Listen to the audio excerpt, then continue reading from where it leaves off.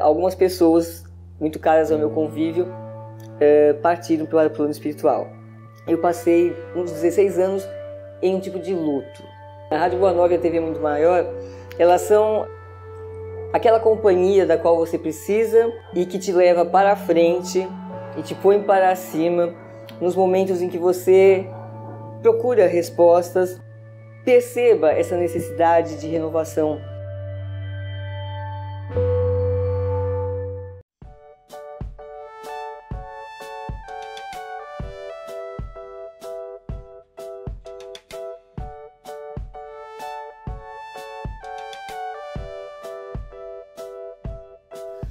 Nós estamos hoje aqui em nosso programa falando a respeito da questão do desenvolvimento mediúnico, porque normalmente as pessoas se interessam, né? quase todas as pessoas se interessam por essa questão do, do desenvolvimento mediúnico, do progresso mediúnico. E Dr. Odilon responde algumas questões neste livro. O problema com as reuniões de desenvolvimento, ele disse assim, é que os médiums equivocadamente, pensam que o seu desenvolvimento esteja afeto tão somente a elas. Repetimos: desenvolver mediunidade é espiritualizar-se. Pronto, está definido. Desenvolver mediunidade é espiritualizar-se, espiritualizar o espírito do médium. Vejamos bem, Antes do Espiritismo, antes da codificação, a mediunidade já existia. Mediunidade não passou a existir com o Espiritismo. Mediunidade não passou a existir com Allan Kardec. Por exemplo, é, como é que se formaram aqueles médiuns que cooperaram com Kardec na codificação? Como é que as meninas Budan, por exemplo, elas se formaram? Como é que é, a senhorita Jafé se formou? E tantos e tantos outros médiums que cooperaram com Kardec na obra da codificação. Como é que eles se formaram? O livro dos médios não existia. A doutrina estava sendo codificada. E evidentemente que esses espíritos que cooperaram com Allan Kardec e esses médiums é, se prepararam também no mundo espiritual, mas também desenvolveram a sua sensibilidade em vidas passadas em vidas anteriores, por exemplo, os santos da Igreja Católica, não é? São considerados muitos deles médiuns. Vários fenômenos com os santos da Igreja Católica nunca estudaram mediunidade, mas eles se espiritualizaram. Eram seres espiritualizados. Teresa d'Ávila, por exemplo, psicografava. Teresa d'Ávila era médium vidente, clara audiente, de desdobramento, saía do corpo.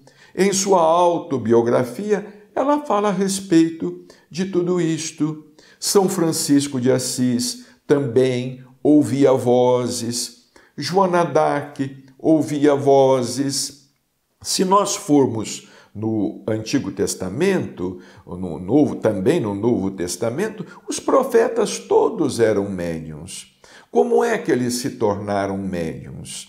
Eles eram seres especiais? Será que o médium é uma criação especial do Criador? Absolutamente não. Não há nenhum ser, não, há, não existe nenhum ser criado especialmente, não há privilégio.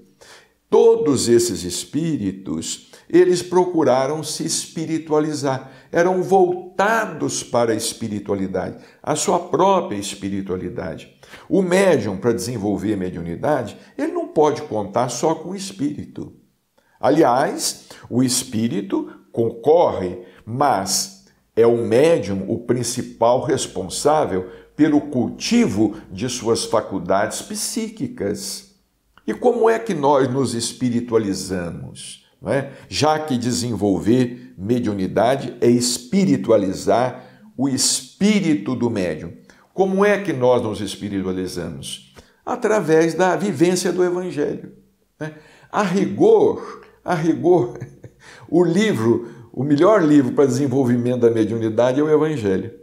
É o Evangelho segundo o Espiritismo. Se alguém perguntar assim, existe alguma cartilha para se desenvolver a mediunidade? Tem, é o Evangelho. A mediunidade espírita, o Evangelho segundo o Espiritismo.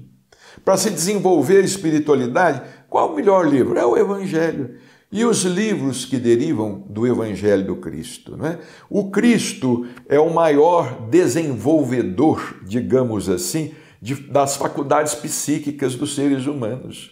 É Ele, quando nos ensina o amor, a bondade, a tolerância, o perdão, isso tudo vai mexendo com a nossa sensibilidade, vai mexendo com a nossa mente, a nossa casa mental.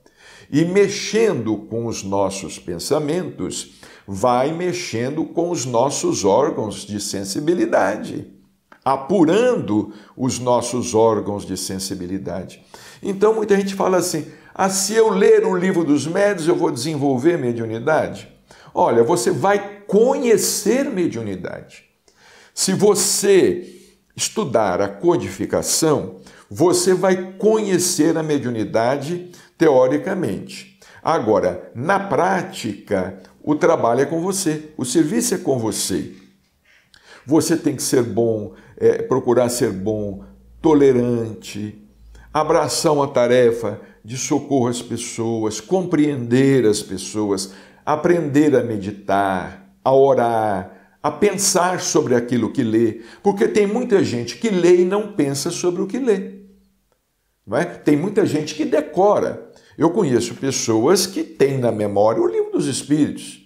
Eu conheço pessoas que, que citam né, de memória, na pergunta tal do livro dos Espíritos, ou na página tal de O Livro dos Médiuns, na edição tal da editora tal. Isso é memorizar. Isso é memorizar. Memorizar qualquer um pode memorizar, exercitando as faculdades da memória.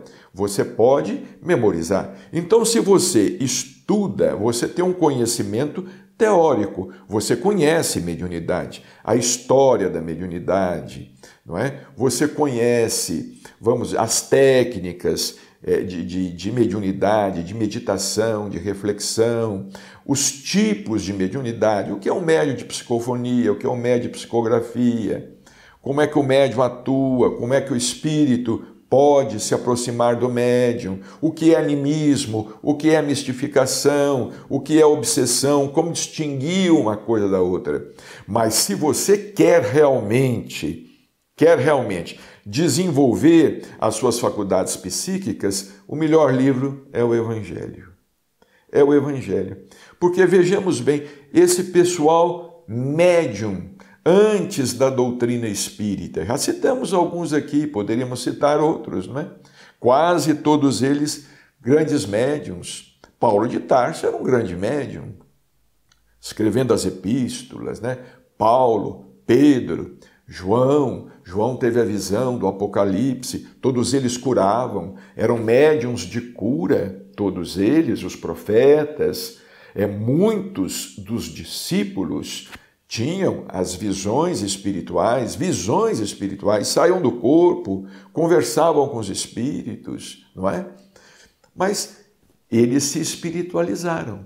Então, vamos entender isto e no último bloco nós vamos dar sequência ao nosso pensamento.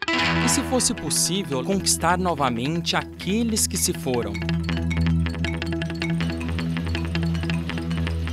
Juntos nós podemos. Invista neste canal. Invista em um mundo melhor.